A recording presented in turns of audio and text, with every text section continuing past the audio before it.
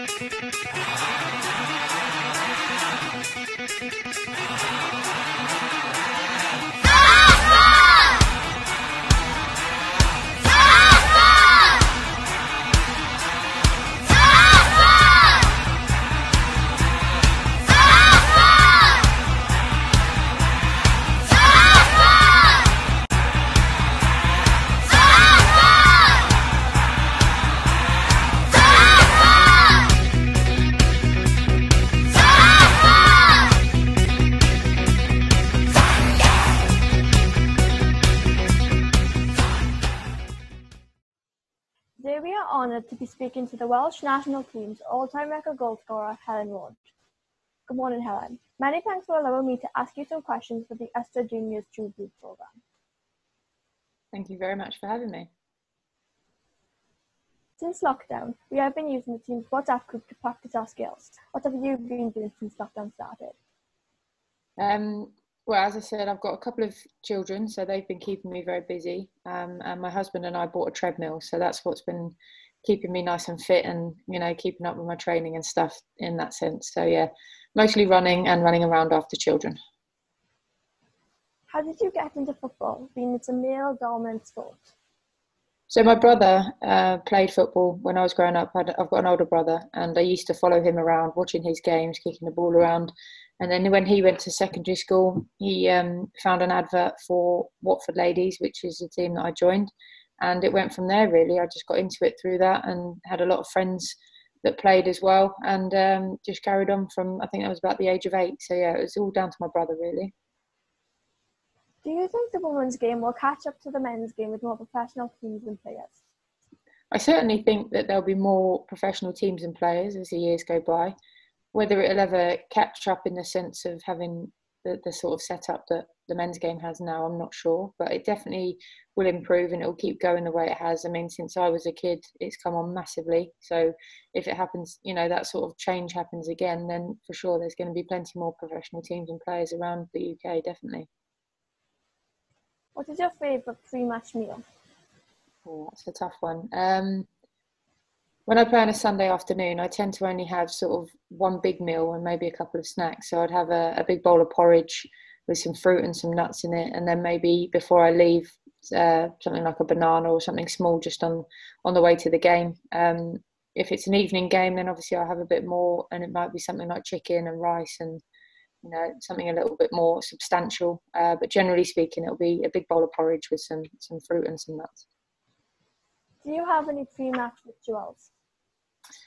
I'm gonna be really boring here and say no, not really. Um, I've kind of got over any superstitions. I used to have to put my left sock on and my left boot, but I don't really do that anymore. Um, I do wear the same sports bra and pants, um, but they get washed in between.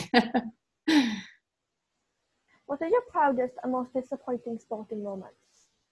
Wow. Um, my proudest moment is every time I pull on the Wales jersey. It's unbelievable. The feeling standing there next to your friends, singing the national anthem um, is, brilliant. And you know, I've been fortunate enough to do that 90 times so far, and each and every time I've done it has been fantastic. And I just, I don't think you can get a better moment than that. Um, the most disappointing, I think, was when we lost that game to England at Rodney Parade. We'd come so far, we'd come so close to qualifying for a World Cup, and all the the support we had was amazing that day, and the feeling that we had afterwards, it was just it was terrible, and it took us a long time to get over that as a squad and as individuals. So that that has to be the most disappointing. Yeah. What is your favourite goal you have scored for Wales? That's another tough one. Again, I'm quite fortunate that I've managed to do that quite a few times. Um, there's a couple that stand out. One I scored on my 50th cap against Belarus at the Cardiff City Stadium, won us the game. Um, it was a bit of an individual effort, which I don't often get because I'm normally just on the end of a good team move. Um, so that one would be up there. But the the other one would be in 2015 when I scored my first goal, having had Emily, my eldest child. Um, it was kind of a bit of reassurance that I needed that I could still score goals at international level, even though I, I'd become a mother. So those two stand out for me for sure. What advice would you give to players starting off in their football journey? just enjoy it do everything you can to improve yourself but make sure you're doing it with a smile on your face if i found out in my career that when i'm not happy that's when i don't perform so i try to enjoy it as much as i can take any any advice that you can on board use it as something to help you don't take it as criticism um, but the biggest thing is, is play with a smile on your face if you're not enjoying it then think about how maybe you could make a change to make it more enjoyable for yourself um, and yeah just keep smiling so and now I'm gonna ask you some quick fire questions. Okay. Was Natasha Harding's shot against England over the line? Yeah. Who is your best friend in football? I've got a few. Rhiannon Roberts, Tash Harding, uh, Sally Wade, who I used to play with. I've got lots. I'm very lucky. Who is the best player you have played with? Oh, it's a toss up between Kelly uh, Kelly Smith, Jess Fishlock, and Kim Little. Who has the best taste in music? I'm probably the worst person to ask about that. Um, probably one of the youngsters. I don't know. Who has the worst taste in music?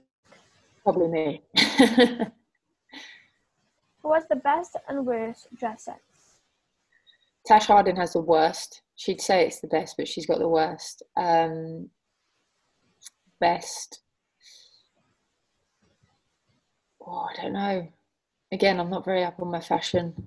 Um, Angharad James, she's quite cool. I like how she dresses. Who is the funniest teammate? Who is the best player you have played against? Wendie Renard of France. She was unbelievable. Marmite, love it or hate it? Nothing really. I don't. I don't like it, so I'll say hate it. And finally, after the social distancing rules are relaxed, I can't wait to get on the football field with my teammates. What are you looking forward to mostly?